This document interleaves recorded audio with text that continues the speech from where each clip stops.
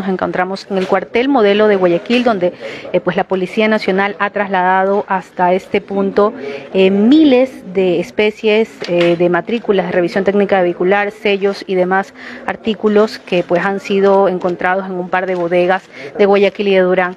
Estamos precisamente con el gobernador del Guayas, Vicente Aguad, le vamos a consultar a él pues cuáles son los resultados de este operativo bastante grande que se ha dado en Durán y en Guayaquil. ¿Cómo está, gobernador? ¿Nos puede dar algunos detalles? ¿Quién los tiene al frente? Esto es bastante preocupante y complicado. Esto son un sinnúmero de documentos de especies valoradas.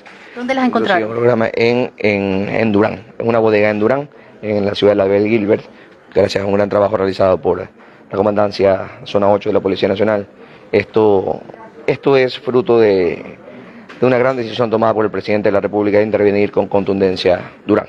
Estamos trabajando de manera comprometida para recuperar la zona que por muchos años fue abandonada. Hay formularios, especies, ¿qué nomás hay? Hay especies, especies de revisión, especies, sellos, lo que usted puede observar, códigos QR, muchos, muchos instrumentos o muchos documentos que permiten no solamente evadir eh, varios tipos de controles, sino asimismo pueden servirte como primeros pasos para clonar vehículos y para marear a las diferentes autoridades. De 31 GATS de aproximadamente 31 GATS. Como les digo, esto es el arranque de seguramente muchas cosas que podemos encontrar.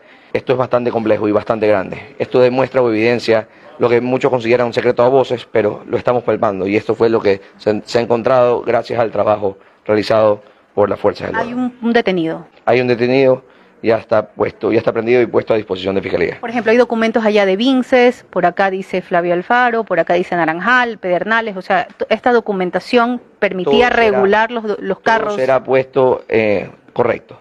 Esto seguramente ah, permite que se matriculen los vehículos y que pasen las revisiones vehiculares y todo esto para, para, verificar qué es lo que está ocurriendo, que se realizan las pericias correspondientes, serán puestos en manos de Fiscalía para determinar las responsabilidades y el alcance de, responsabilidades, mejor dicho, de cada una de las partes que pueden verse posiblemente involucradas. Usted mencionaba que entre 50 y 150 dólares podían estar pagando los usuarios por estos documentos. Seguramente más en unos lados, seguramente menos en otros lados, pero esto es bastante, bastante grande. Esto es un tema importante, como les decía, lo más preocupante, cada uno puede representar un carro robado.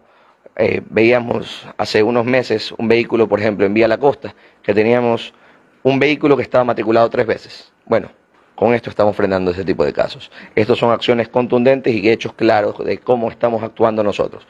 Así que les agradezco mucho. Muchas gracias. Bueno, ya escuchamos al gobernador del Guayas, Vicente Huat, acaban de dar aquí una rueda de prensa en el cuartel modelo de Guayaquil.